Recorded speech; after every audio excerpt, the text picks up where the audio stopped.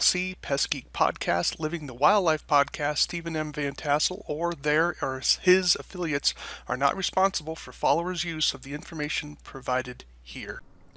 Hi everyone, Stephen Vantassel here, Wildlife Control Consultant, bringing you another episode of Living the Wildlife as part of the Pest Geek Podcast family glad you made it here today. I hope you've enjoyed previous podcasts. If you're new, well, welcome to the show. This is a site or a podcast, I guess we should say, that covers all things related to vertebrate pest management. So uh, I welcome feedback from you in terms of subjects that you may want to have covered. You can reach me at Wildlife Control Consultant at gmail.com. That's wildlife control consultant at gmail.com. I'd love to hear from you. Otherwise, I'm just going to talk about what I'm interested in. You can also visit us on the Pest Geek Podcast page with Facebook. We hope you join us there. And then, of course, you can also see my videos both on YouTube and on Rumble. For Rumble, just go to Wildlife Control Consultant, and my podcast will be listed there. All right. Well, last time we were together, I talked about the new EPA rodenticide proposal for changes to rodenticide labels within the United States. So, the EPA, for those of you outside the country, is an environmental protection agency, and they obviously at the federal level manage uh, pesticide labeling within the United States, and they are a they're making some major proposed changes here, and we went through them last time. So if you haven't heard those changes, well, then you certainly want to go back to part one because this is going to be part two and not going to be quite as long as before, but definitely this is a two parter. So, in order to get full context, you probably should stop here, go back to part one, listen to that where I kind of summarize it. So, let me pull up the publication for us here. So, let's just go back to the beginning. Let's see, I'm on page, I think 53 or so. And I'm going to go all the way back to the beginning just so that you can see what the title of it is. And let's read it together. It's the proposed interim registration review decision for seven anticoagulant rodenticides published by the EPA in November of 2022. Now, I'm recording on the 10th of December, but you're probably going to be hearing this sometime, uh, probably mid to late December by the time you hear this. So, I've been going through this document, pointing out some of the rationale for the EPA in making these particular changes. I've made some criticisms and comments on some of those changes and then uh, noting that they're going to impact you and that the likelihood of these being implemented is rather high. The way I've talked about it before was the concrete isn't hard, but it's getting harder. And so, uh, definitely made some comments in that regard. So you want to ch- check out my our previous presentation on that. So let's come down to this uh, to kind of get to where we are starting with before. And we've already discussed that. So let's we talked about the respirator requirement. So here we go for the methods of application. So we talked about the PPE already in the previous podcast. So now we're into the fourth recommendation from the EPA in terms of making changes in terms of how anticoagulants are handled and used within the United States, and I would assume, excuse me, many of its territories. And so here was what they're recommending. And so they are recommending that for above ground applications of loose meal bait formulations of chlorphacinone and diphacinone. All right, so let me stop there for a minute. A lot of you are going to be dealing obviously with structural applications like what is this? We're putting rodenticides on the ground? And the answer is yes. For those of us in more agricultural environments, diphacinone and chlorphacinone. Those are the active ingredients. Those are first generation anticoagulants. There are labels that allow the use of those products on on the ground in agricultural settings. So typically they're used for the control of things like voles, that's with a V, and ground squirrels. And so often there would be broadcast methods or there would be something known as spot baiting. Spot baiting is where you go up to a burrow and you could simply apply this to the surface of the ground near the opening of the burrow so that when the ground squirrel comes out and feeds it. Now, chlorphacinone and diphacinone also have an in burrow application, and that's typically used for prairie dogs where those anticoagulants are placed down the burrow at least six inches. So that kind of gives you a little bit of a context here. Uh, typically, for prairie dogs, you're not allowed to do broadcasting, and you're uh, you are allowed to do spot baiting, and you can't use bait stations, believe it or not, with prairie dogs either at this present time. So what they're saying is is that the chlorphacinone, diphacinone, they're proposing that the applications can no longer be made directly to food or feed crops. The application can only be made during the non-growth dormant period of the target crop. Now, that may say, well, that makes a lot of sense. We don't want anticoagulants in our food system, and that's certainly true. However, like we have some uh, cherry growers in the northwest portion of the state that I live in, and if we're waiting for the dormant period, the ground squirrels are already in the ground. So, how does that help? so, uh, we can't use we can only use the spot baiting spot baiting is only going to work if the ground squirrels are out. But if they're in hibernation when the trees are dormant what's the good of even if they're in a bait station what good is it? They're not going to feed on it right? So that's obviously it's a big problem. And three the application is made along fence line border areas border strips. So they are, are allowing they are allowing control to be done continued along fence lines, border areas, buffer strips adjacent to target crops. Okay.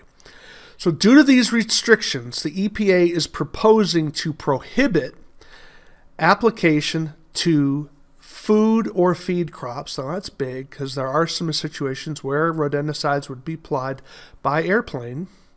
And that would also impact, of course, people using drones. So, that would really shut down drone, the development of drone application. Uh, that's a problem because uh, drones give you some very targeted ability. Uh, so I would hope the EPA would reconsider that or at least modify it. And for below ground or in burrow use, the EPA is proposing that applications must be made below ground in the main run of the burrow, that's typically for pocket gophers, and the application can only be made during the non growth dormant period of the target crop. Now, that's a significant change.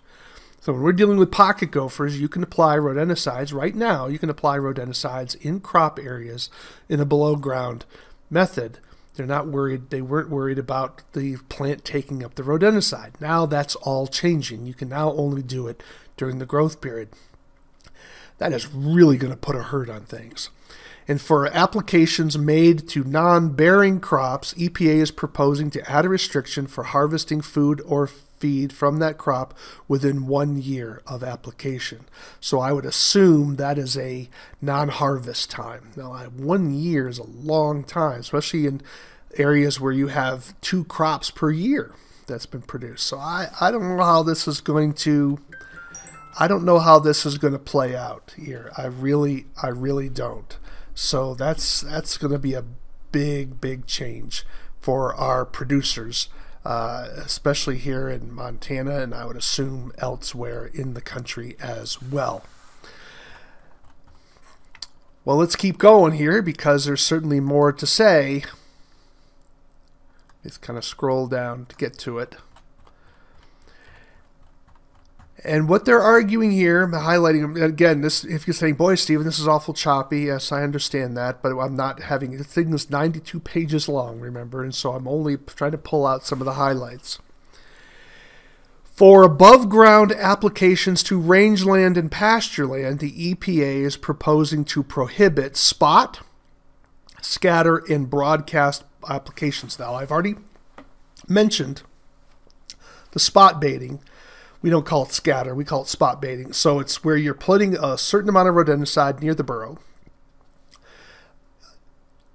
Or in broadcast, as you have maybe a um, spreader and you're putting the rodenticide in the spreader and you're just cruising along the landscape and spreading the rodenticide out into the field. They're looking to prohibit that in that the only above ground applications to rangeland, pasture land, land may only be made using a tamper resistant bait station. That's going to be huge. So I'll be very interested in how they're interpreting this in relationship to prairie dogs. I don't have a good sense of how they're understanding this. Are they going to allow prairie dogs to be killed with um, bait stations? Because previously that was not the case. So I'll be interested in seeing how they how they work through some of these more finer or species specific nuances here. So I'm not exactly sure how that's going to play how that's going to play out. Another significant change, and I think, you know, in fairness to the EPA, I think this is a good one. I think this is an appropriate change. I don't think this is punitive. I don't think this is a big deal. Uh, I've been certainly encouraging people in my trainings to use the Bulletins Live 2 website. If you're not familiar with the Bulletins Live 2 website, let me kind of pull that out here. Uh, and let's go to Bulletins Live 2. This is the website created by the EPA to let you know if there's any endangered species restrictions in the particular area where you're looking to apply. And so here we have sort of a Google type map. Uh, and you would basically type in a location. So let's type in mine. I live in Lewistown, Montana, right? No secret there. Lewistown, Montana. And basically, Google Earth down to your location and it lets you know if there are any restrictions on the use of rodent on use of pesticides in that particular area. Now, obviously, if you're applying pesticides outside of the area listed here, well, then you have to move the map. Okay. So, and you say, well, this tells me that there's no restrictions anywhere in the in and around the city of Lewistown. Now, if you had a particular rodenticide or product that you wanted to check, you could simply type in the registration number right here and it would search only on that particular registration number. But right now, there's no restrictions. And then you can just hit the printable button, hit that, and it allows you to print off a bulletin. Let me pull that up for you. And this is what you would attach to your pesticide label as proof that you have checked the bulletins live 2. And so they're going to look into make this a requirement. I would suspect, if not on all rodenticide packages, at least on those rodenticides that are used out in the field. I, they may even require it in urban areas too. I, I don't know the answer to that. I haven't looked at things quite that closely to see. So, uh, but I would suspect it might be on everything. And this is to avoid confusion because sometimes they're no longer going to be listing all of the endangered species as they did before. And it did become a little tedious at times. Plus, things are dynamic. Here in Montana, for instance, uh, grizzly bears are on the threatened threatened list, but their populations are, are growing and they're they're expanding their range in the state. So much for a threatened species, right? We have a grizzly bear now just north of us here in Lewistown where we didn't have one, you know, seven years ago. Okay, so they're up in the uh, Moccasin Mountains, and so we also think we have them in the Snowies now. It's probably certainly in the Little Belts. So they're expanding their range beyond the Rockies, and so this is becoming a significant issue. And so things are dynamic and changing, to be sure. So I think that's a good change, but again, it's going to be it's going to have to be something they're going to have to work around. But I don't see this particular change as necessarily punitive or inappropriate, if I can say that. And I and the reason why I want to balance this a little bit is I don't want people to think that everything the EPA does is wrong. And and and if that's your opinion, then I, I would just have ask you to just reflect a little bit more deeply on the role of regulation in the country. And so regulations have a, a positive role. They're not always negative. Yeah, they may be a hassle at times but when you think about the bigger picture, that the regulation's not there to make your life miserable, the regulation is there to protect some of the negative side effects of some of the things that we're doing. And it's trying to find that balance a little bit. And I think this is an appropriate change within that the EPA has proposed. And I, and I hope people don't oppose it uh, too much. Now, here's an answer to that earlier question. It says, you will not be required to visit Bulletins Live 2 for those products registered solely for the use by the general consumer, which is probably an appropriate thing because the consumer probably won't visit it anyways, right? So it won't be a problem. Now, this is something that's going to be big, and that is the mandatory carcass search, collection, and disposal requirements are necessary for first generation anticoagulant rodenticides classified as restricted use products that are registered for use in fields and other non structural use sites.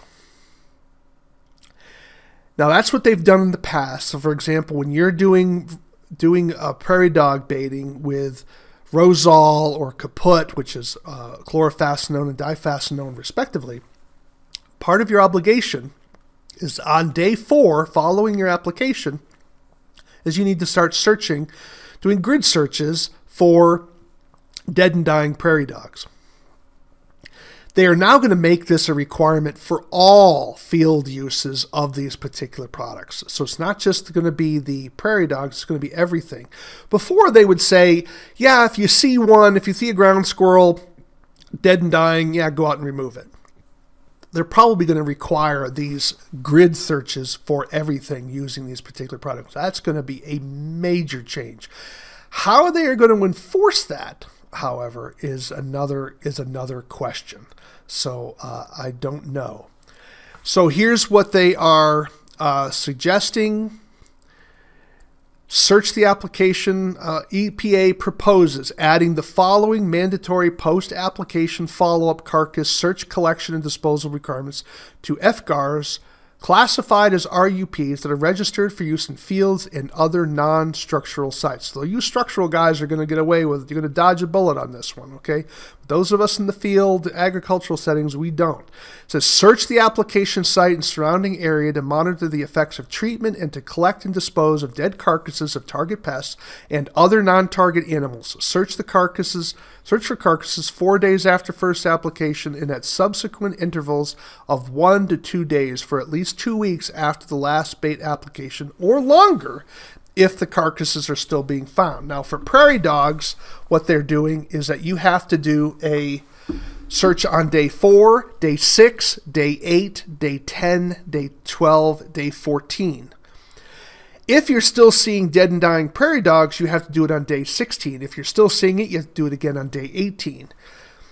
I believe, if I'm understanding this correctly, they're going to require something similar to that for even for the use on ground squirrels and probably voles as well. That's going to be a huge change. Okay, that's really going to ramp up the amount of work involved. And so it's basically pushing everyone into using zinc phosphide, is what this is going to ultimately ultimately do.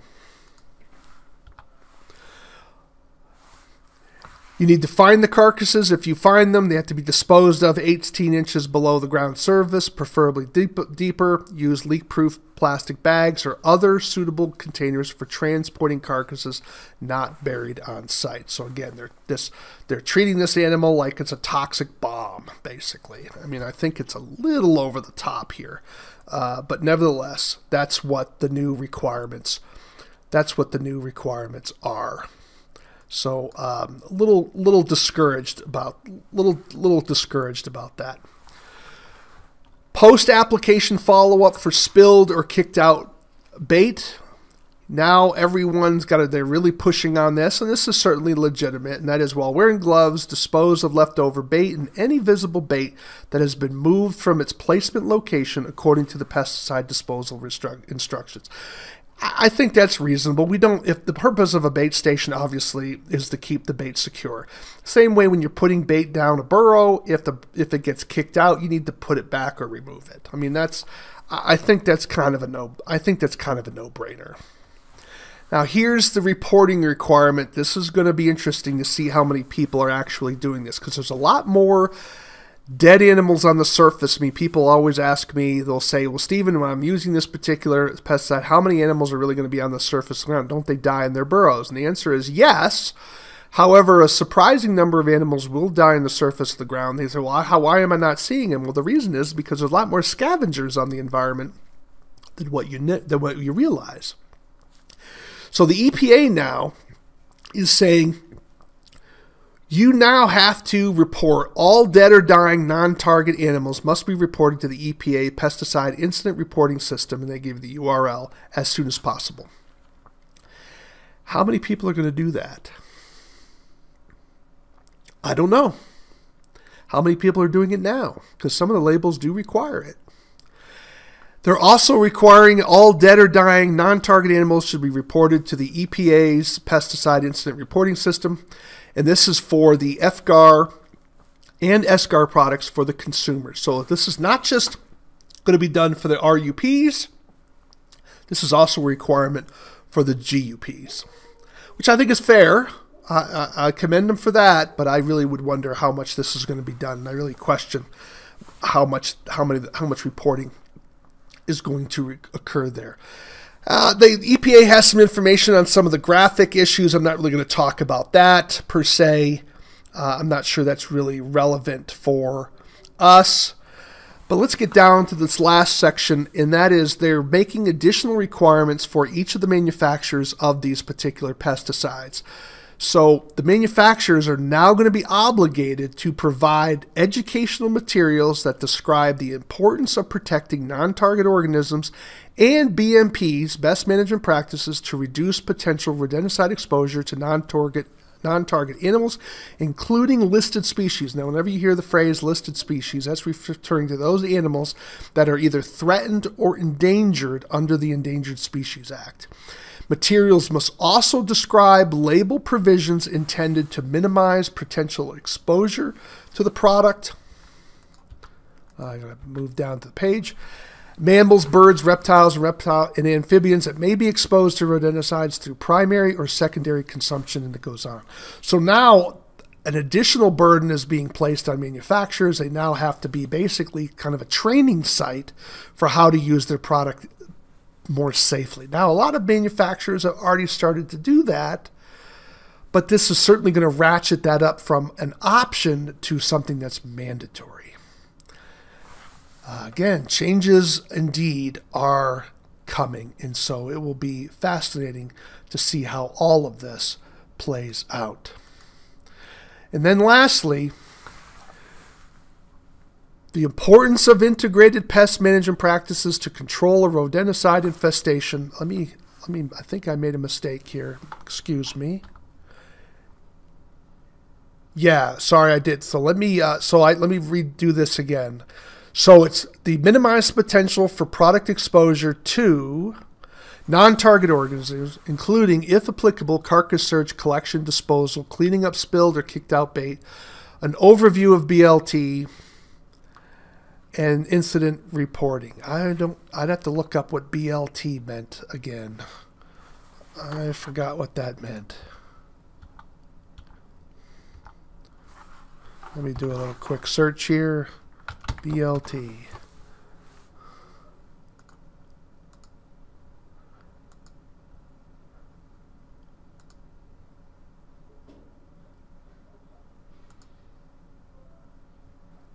Oh, bulletins. The bulletins. Okay, so BLT. Well, that makes sense.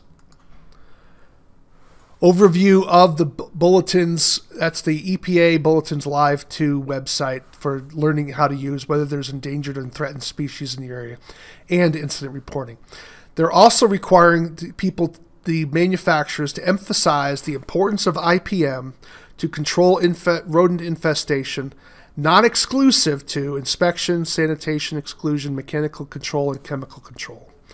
And they need to have information on rodent biology, so this is going to be huge. So this is going to be certainly uh, a lot. So they're going to be a lot of information is going to have to be put out there now for the public to help them use these rodenticides better. So the EPA is, I guess, hoping, praying that education is going to change behavior here. And I think it will to some extent. How much? Will it be enough? I don't know.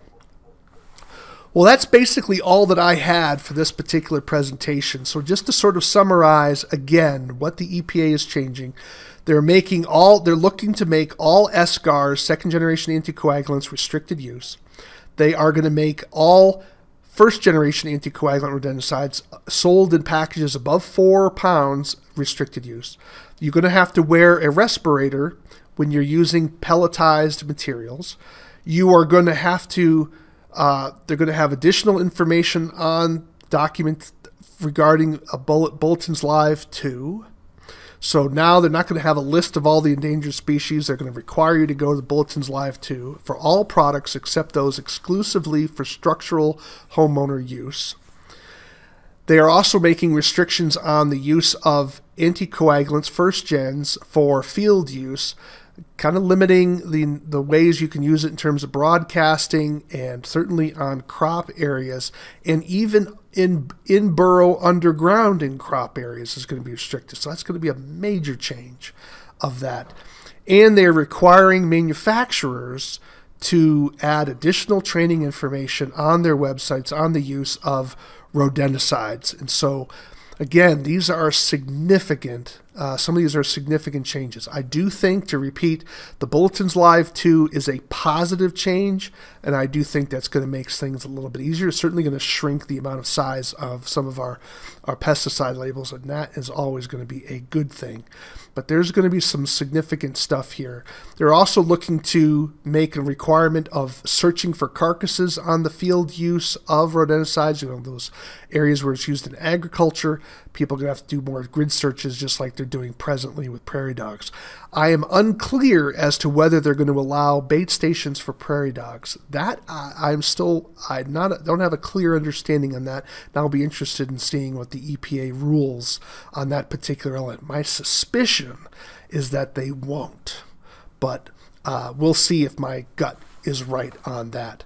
Well, again, this is the changes coming, and some of these changes are good some of these changes, I think, for my opinion, is a little bit of overreach. And then I do wish the EPA would put more emphasis on enforcement because I am not convinced that putting up more road signs is going to change driver behavior. That's the analogy I'm using. And same way, I don't think a lot more restrictions on these labels is going to necessarily change enough human behavior for them to feel that they're making progress. If we're not working on enforcement, I don't know where all this is going to go.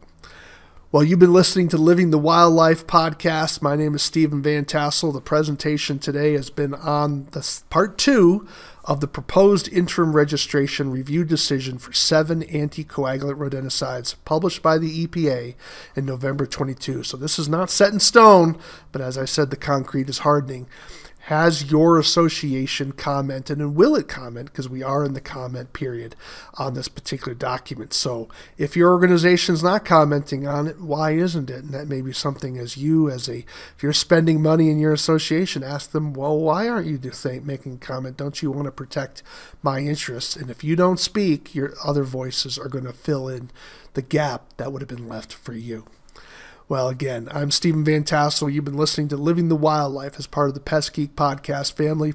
Glad you joined us. Do do sign up for the uh, notifications for when we have other other shows coming out.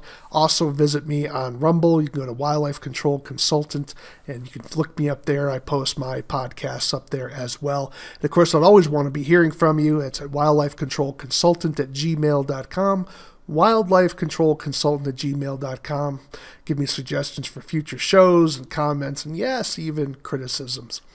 So, this is Living the Wildlife, and why do we call it Living the Wildlife? Because we want you to live the wildlife, not be the wildlife. Take care, everybody.